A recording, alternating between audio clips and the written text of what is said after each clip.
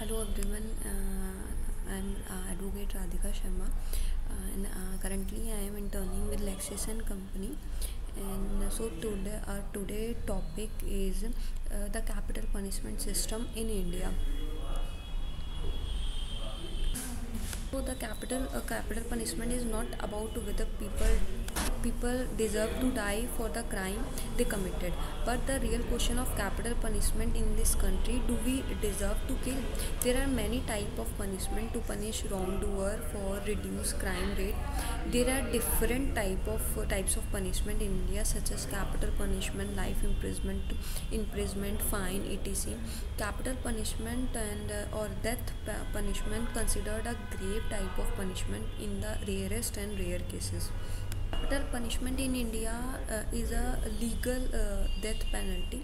India give, gives capital punishment only for a only for heinous offences like जो जघन्य अपराध होते हैं उनके लिए as per section three three sixty eight of criminal procedure code nineteen seventy three provides the authority to high court for confirmation of death sentence death uh, sentence. The death penalty is given for most serious offense and heinous offenses that fall under the category of rarest uh, cases in india. During passing of the resolution uh, calling for a prohibition on the death penalty by un general assembly india cast a vote in the favor it there are some landmark uh, cases related to capital punishment in India.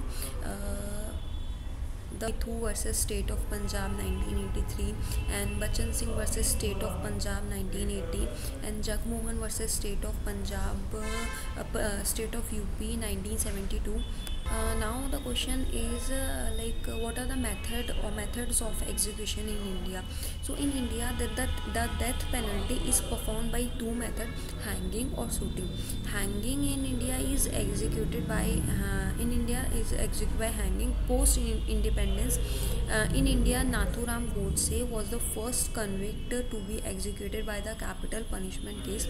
The apex court of india gave its suggestion that the death penalty must be awarded in the rarest of rare cases. And the second one, one is shooting. According to the army act and the air force act of india also provide provision of the implementation of the capital punishment. And